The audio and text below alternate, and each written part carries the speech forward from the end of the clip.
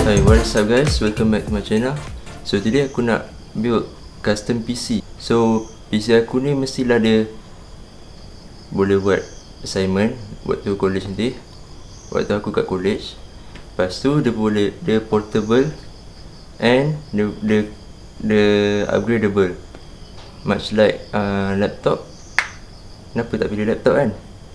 Laptop dia, dia tak boleh upgrade tau So bila aku boleh pakai laptop ni Hanya waktu study je Waktu aku belajar. Bila habis study Aku dah tak boleh pakai lah Sebab dia, dia tak Macam tak cukup lah Tak kuat lah. So without wasting any more time Let's jump into it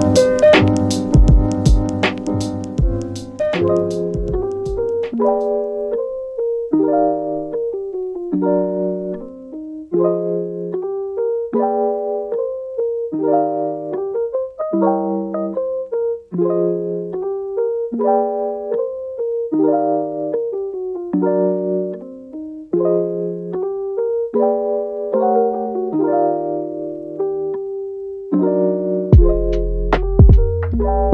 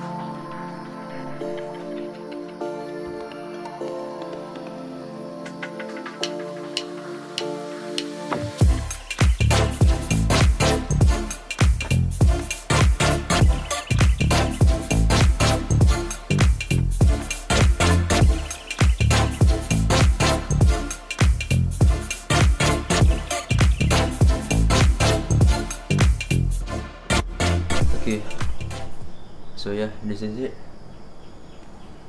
Um, aku punya first custom PC. Thankfully, uh, first try dia hidup. So uh, ni lah PC aku. So Damien, apa? Kau kata kau nak PC yang portable kan? Takkan kau nak bawa monitor dengan keyboard? Ya, uh, aku akan pakai peranti siswa kat sana.